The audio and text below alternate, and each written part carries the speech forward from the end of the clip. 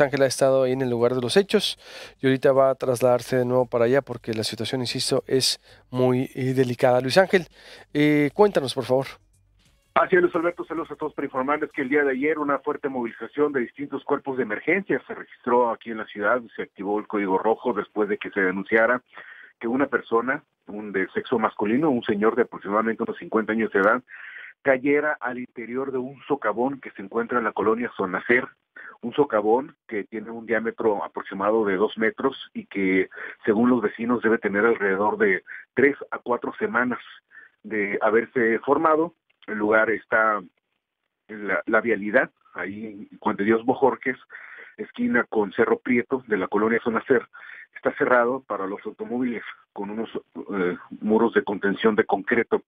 Eh, tránsito municipal ha estado colocando cintas para evitar que los peatones, ciclistas, motociclistas crucen por el punto, pero según los testigos son ellos mismos quienes rompen esta señalización y cruzan a través de esa vialidad. Y fue ayer justo minutos antes de las 19 horas, 7 de la tarde, cuando según al menos un testigo que estuvo colaborando con las autoridades, esta persona, un señor que vestía pantalón de mezclilla de color negro, camiseta roja, gorra negra y una mochila gris donde se observaba traía algo de herramienta y de acuerdo al aspecto de él, era posiblemente un trabajador de la construcción, un albañil o ayudante de albañil, pasaba por el lugar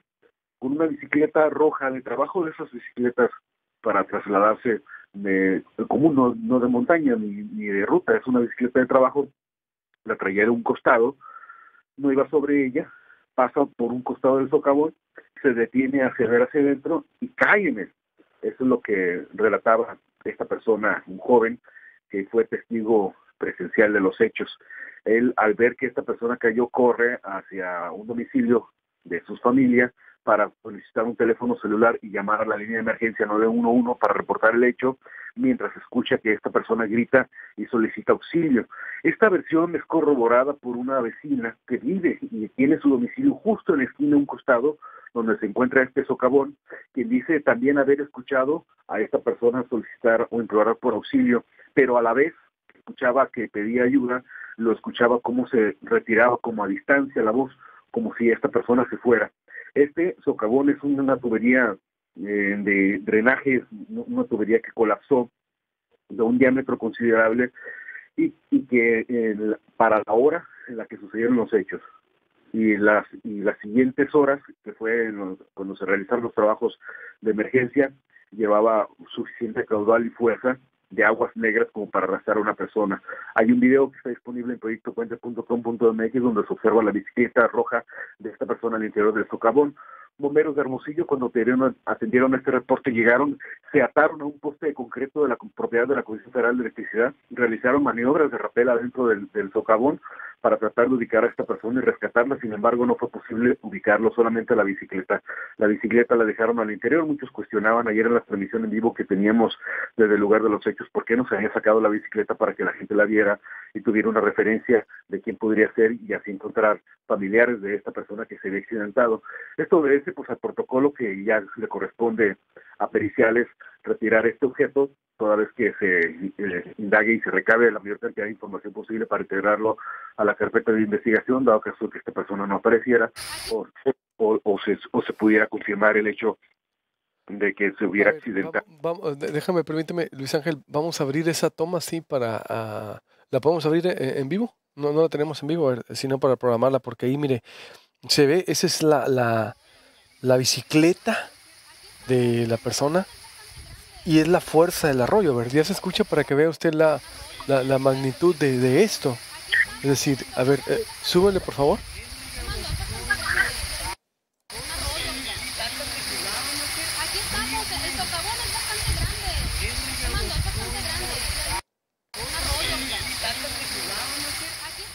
A ver, hay que, hay que volver a, tomar, bueno, no eh, sigue la bicicleta ahí, así Luis Ángel amaneció, bueno, ahorita vas para allá, ¿verdad? Para ver si, para, hacer otro video, porque mire usted, la imagen es, la verdad, muy, es contundente de, la bicicleta. Ya fue, fue ese video es un vecino, ¿verdad? Así es, justo cuando Sí, porque ya, no dejaron, ya no dejaron acercar, acercarnos. No, de hecho, ayer aproximadamente a las 12 de la noche, personal de Agua de Hermosillo, eh, bueno, alrededor de las diez y media 11 de la noche, personal de Agua de Hermosillo llegó al lugar y, y, coordinándose con los eh, bomberos de Hermosillo y con tránsito y con otras corporaciones para eh, realizar el trabajo de búsqueda y localización de esa persona, eh, arribaron al sitio, pero aproximadamente a las 12 em, de la noche, unos trabajadores colocaron estas mallas anaranjadas que se colocan en algunos trabajos que se realizan en la ciudad para prevenir y evitar que tanto peatones como ciclistas o motociclistas pasen por ese punto,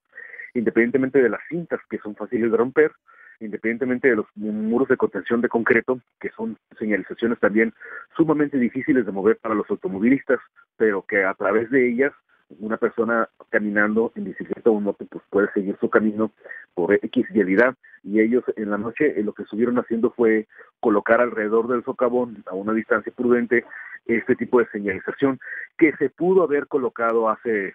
tiempo si se reportó este eh, hundimiento en la cinta asfáltica hace tres o cuatro semanas o un mes pudo haberse realizado ese trabajo preventivo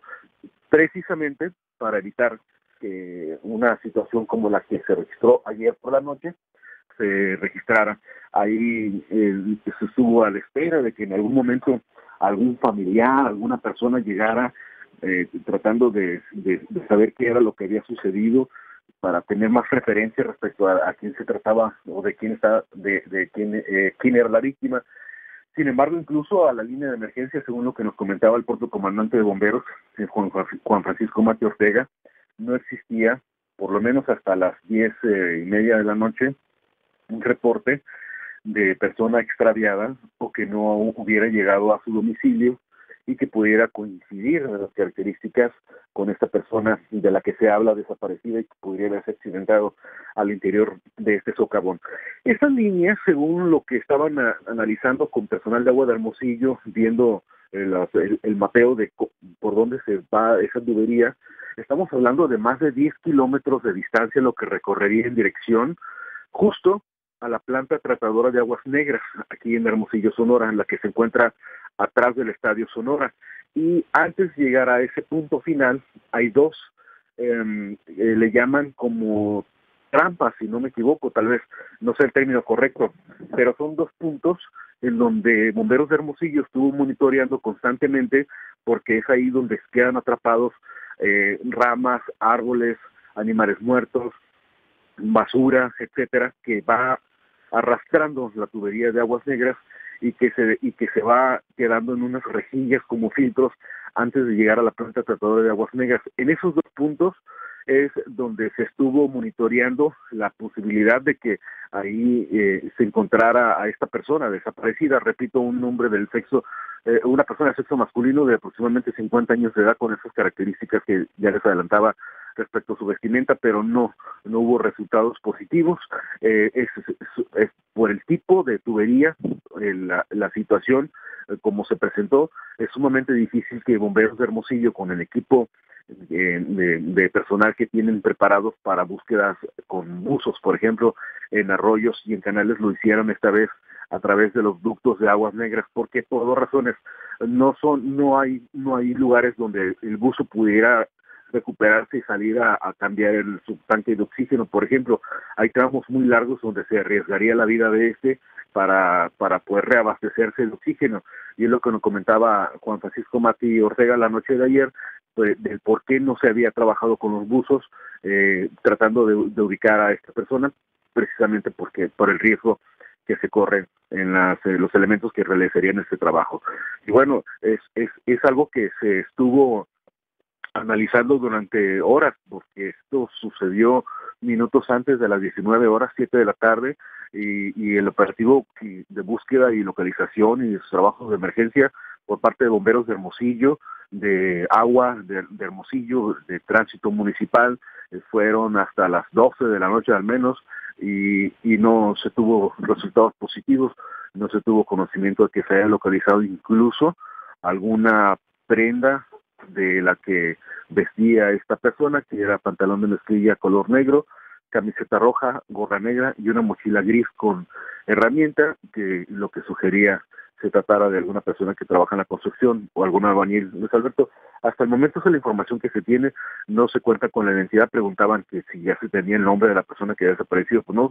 no se tiene, primero porque no se ha localizado a esta persona y segundo porque hasta ayer hasta medianoche no se tenía eh, eh, reporte de alguien que haya que, haya desaparecido con esas características y tener un norte, alguna referencia de quién podría tratarse. y,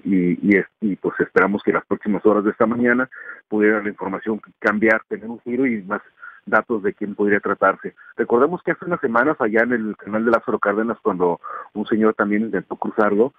tenía eh, las mismas eh, intenciones de, de, ir con su bicicleta a un costado,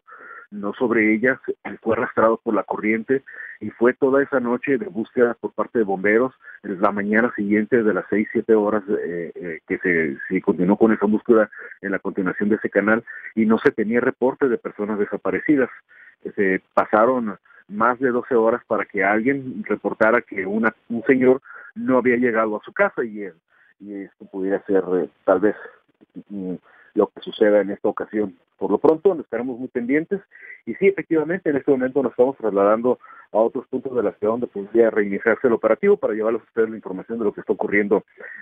a consecuencia de esta búsqueda y de lo que sucedió ayer en la colonia Zona Gracias, Luis Ángel. A ver, voy con Rafael Robles, él es coordinador de inspector